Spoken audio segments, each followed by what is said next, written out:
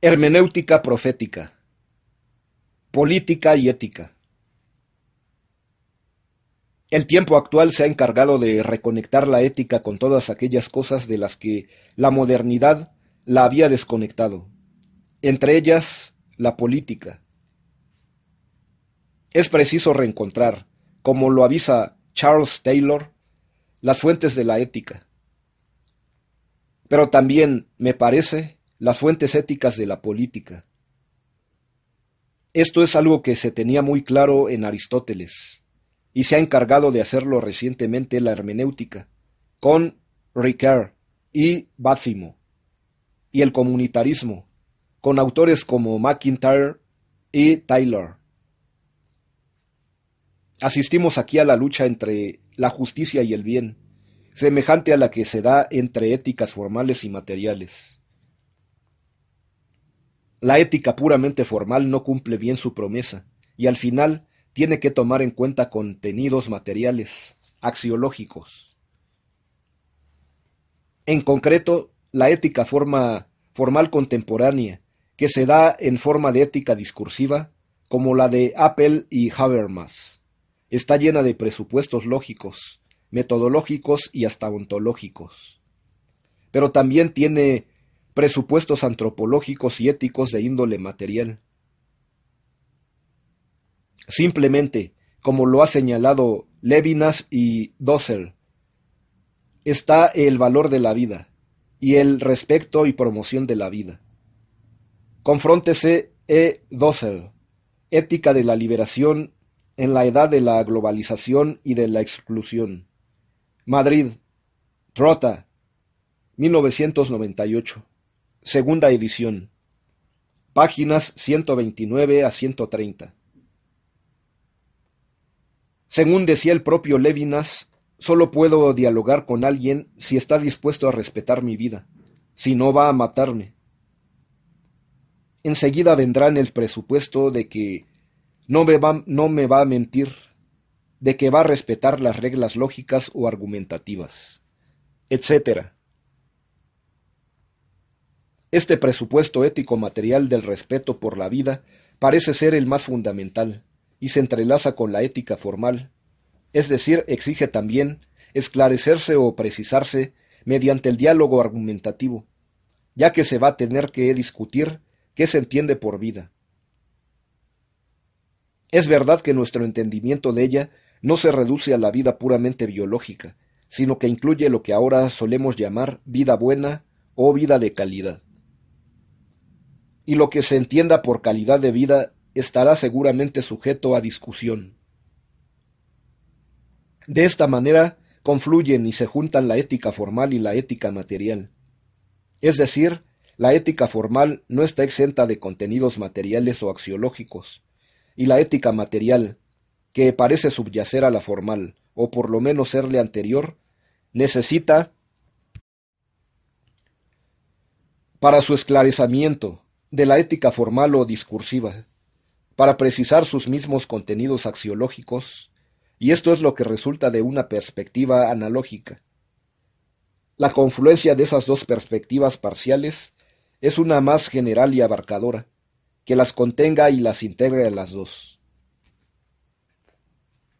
Lo primero que se presenta en una comunidad política, desde el punto de vista del ocupante, es el sentido de pertenencia, de identidad. Buscamos la identidad de entes más fijos, como electrones, puñados de trigo, etc. Pero también buscamos la identidad de las sociedades políticas o de sus miembros, lo cual es más complicado y difícil. Esto pertenece al terreno de la simbolicidad. Por ejemplo, se ve en ese símbolo nuevo de reconocimiento que es el pasaporte. Si yo no tengo algún símbolo como el sencillo pasaporte o el acta de nacimiento, no poseo sentido de pertenencia pero tampoco lo tengo si no se me concede en la práctica. Por ejemplo, por más que pueda sacar su pasaporte, un pobre o un oprimido, en cuanto desposeídos, se sienten igualmente desprovistos de identidad respecto del todo social al que se pretende que pertenecen. De ahí viene eso en lo que tanto insisten Luis Villoro y Enrique Dossel, que es el sentimiento de exclusión, tan fuerte como si se tratara de exilio, y se da sin embargo al interior del Estado, dentro de sus propios límites, pero con límites de segregación que hacen que sea igual de pesado el rechazo, como si fuera un exilio verdadero. Confróntese L. Villoro, Estado plural, pluralidad de culturas. México, Barcelona. UNAM, Paidós, 1998. Páginas 63 a 78. E. Dossel. Obra citada. Página 513 y siguientes. Por supuesto que la pertenencia o inclusión va, va, más allá del estar dentro de los límites de un país o estado. La pertenencia tiene más que ver con la cultura, con lo que consideramos como nuestro grupo cultural, más que nuestro grupo geopolítico. Y esto depende mucho de la interpretación. Se relaciona estrechamente con la hermenéutica. ¿Cómo se interpreta el ciudadano? No sólo de dónde le viene su identidad, sino su acción, ya que los motivos que la impulsan están tomados en buena medida de los patrones valorativos culturales, ideales de buena vida, de autorrealización, de felicidad, etc. De las motivaciones de los actos es de donde sale el sentido que le asignamos. De allí recibe valores. Y las motivaciones, así al igual que las identidades, están altamente cargadas de valoraciones. Por eso la identidad, individual o colectiva, y el sentido de pertenencia a un grupo o sociedad no bastan para sostener la acción sociopolítica. Se requiere algo más. Este algo más es el espacio de posibilidades que se deja a los ciudadanos para la realización de los ideales de la vida, de los cuadros de valores. Claro que es algo indispensable y mínimo el tener un Estado de derecho y de justicia para poder ofrecer esa posibilidad. Eso lo asegura la ley. Pero hay algo más, algo que, como dice Michael Serras, es metonímico y metanómico. Esto es, va más allá de la ley, está más allá del derecho y de la justicia, que es el ámbito de los valores e ideales de vida que cada individuo quiere realizar y por lo general son los valores e ideales que le inculca su tradición, su grupo, su comunidad, pudiendo abarcar más aspectos hasta llegar a ser algo universal o mundial. Esto es, incorporar ideales cada vez más abiertos y plenos, de modo que alcancen una dimensión cosmopolita, mundial o universal en ese sentido. Es lo que, en la línea de Gadamer, podemos llamar ampliar nuestros horizontes, lo cual es sumamente hermenéutico.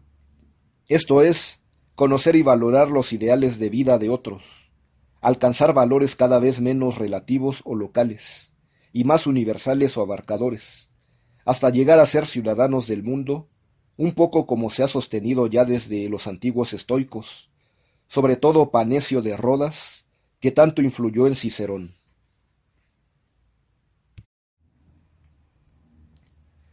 Raíces hermenéuticas de la filosofía política y frutos políticos de la hermenéutica. Charles Taylor ha insistido mucho en los orígenes hermenéuticos de la acción política y de la politología. Confróntese Charles Taylor. Comparación, historia, verdad.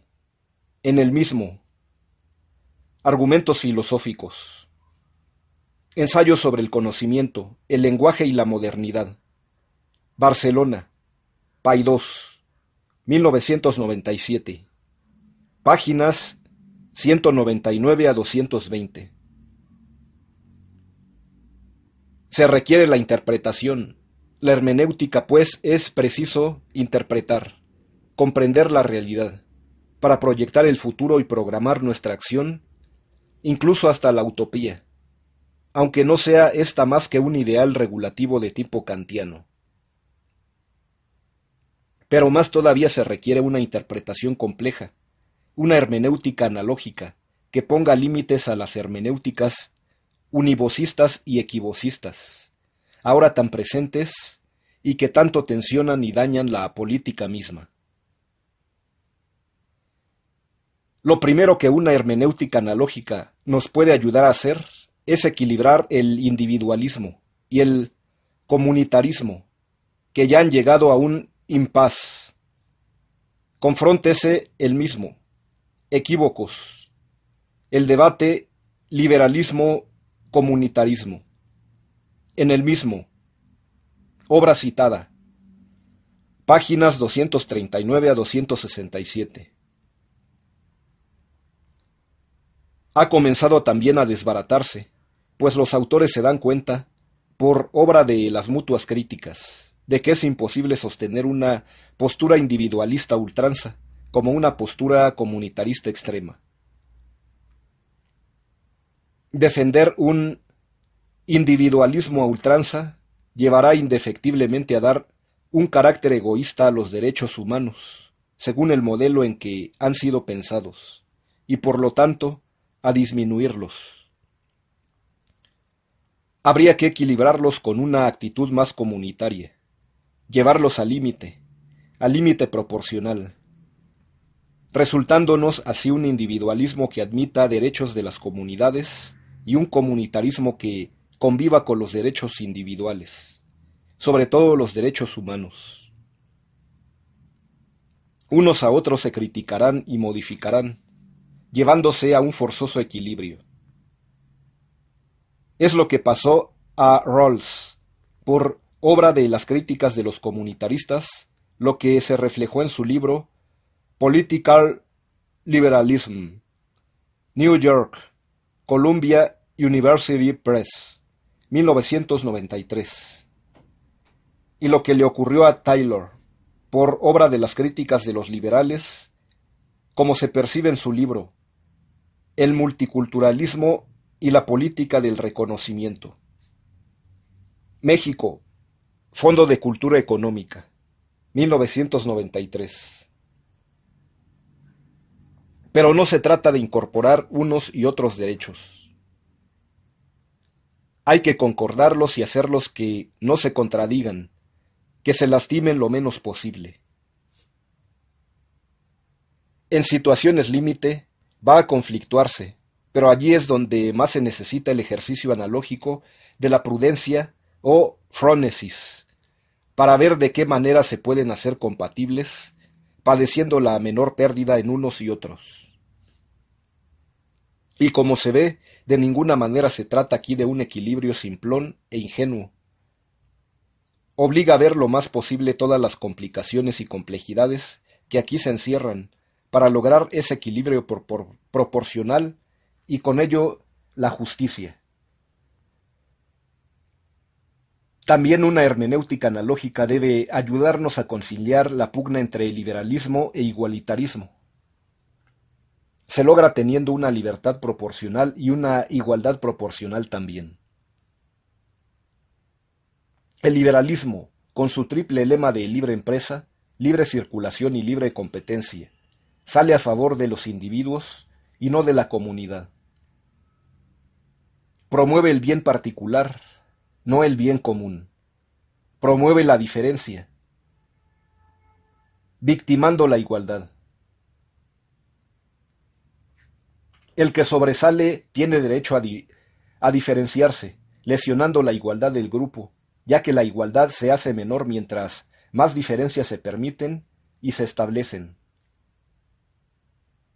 Claro que no se trata de desigualdad ante la ley, sino ante la sociedad, por lo que los individuos pueden tener y hacer las oportunidades, que es donde desde Rousseau se ha señalado la desigualdad. Hasta llega a verse que la única igualdad que se va logrando es la que los desposeídos o desfavorecidos presentan. Aquí se trata de una igualdad de justicia, pero no de la legal, sino de la distributiva. Que afecta a la conmutativa, pues sólo el que tiene bienes o dinero puede hacer conmutación. Aquellos que no han recibido las mismas oportunidades están menoscabados. Es cierto que hay diferencias inevitables, de talento, de iniciativa, de savoir-faire, etc. Pero por eso hablamos de una igualdad proporcional, no unívoca, sino analógica. Si a Nozick se le ha escandalizado la justicia distributiva, porque despoja al individuo dotado para darle a otro menos dotado. Confróntese R. Nozick. Anarquía, Estado y Utopía. México, Fondo de Cultura Económica. 1988, página 210 y siguientes. Es por estar situado solo en la perspectiva del liberalismo. Desde el liberalismo parece inmoral una justicia distributiva, que me quita para darle a otro, que busca más la igualdad, que favorece al igualitarismo. Pero hay que ver también hacia la igualdad de una manera más conmutativa. Tal vez esto se fortalece solo por otro valor que trajo la Revolución Francesa. De ella vienen los ya mencionados valores de la libertad y la igualdad. Pero había otro, el de la fraternidad. Si al liberalismo y al igualitarismo añadimos como meditación el fraternalismo, quizás se podría llegar a un equilibrio en el que el liberalismo se lastimara tanto al igualitarismo y a la inversa. Se trata de hacerlos convivir. Por supuesto que los problemas surgirán en los casos difíciles, donde parece no quedar otra alternativa más que sacrificar a unos de los dos. Pero puede ser que la fronesis o prudencia, altamente analógica, que es por cierto la que se encarga de los casos difíciles, de esas dificultades concretas, logre superarlas. En todo caso, la fronesis podrá recoger el resultado de nuestra interpretación de la realidad para buscar su transformación y mejoramiento. La fronesis, según decía Gadamer, confróntese H. G. Gadamer, Verdad y Método, Salamanca, Sígueme, 1977, página 49 y siguientes. Es la que nos ayuda a interpretar la realidad en lo concreto, y es también la que nos ayuda, en forma de prudencia política, como la llamaba Aristóteles, a transformar la realidad social de acuerdo con los fines que para ella nos proponemos. Por eso, lo más importante será estudiar y ver qué fines le queremos dar. Conclusión. Vemos, pues, que a la hermenéutica le toca un lugar muy importante en el ámbito de lo político, no solamente para interpretar los discursos políticos que hay, lo cual es ya un avance, sino también para interpretar la misma realidad política como un texto y ser capaces de captar si está mal, para transformarla del modo que sea más conveniente. Pero eso supone conocer no solamente las condiciones del bien de nuestra comunidad, lo cual es todavía muy restringido, sino que exige un esfuerzo más grande. De hecho, pide nada menos que estudiar y conocer la naturaleza humana. Pues, si vamos a orientar la sociedad hacia el bien, tenemos que saber cuál es. Este no puede ser sino el, el bien del hombre, y para alcanzarlo se necesitará conocer ese bien del ser humano y realizarlo, claro está, de manera escalonada para que, consiguiendo el bien concreto de nuestra comunidad política, alcancemos además el bien al que todo ser humano está llamado. O al menos podemos intentar referirnos, con el bien de las comunidades concretas, al bien del hombre concreto, ya que el bien común se da encarnado en los seres individuales que se benefician de él, y el bien mayor se dará concretizado de las comunidades parciales dentro de la comunidad mayor. porque el realizarlo en las comunidades parciales nos conducirá a realizarlo de una manera cada vez más amplia. Es como hacer que el todo reluzca en el fragmento, pues ya al conseguir el bien de los que nos rodean, así, en fragmento, hacemos que, todavía de manera más ardua, pero alcanzable, reluzca el todo en el fragmento mismo.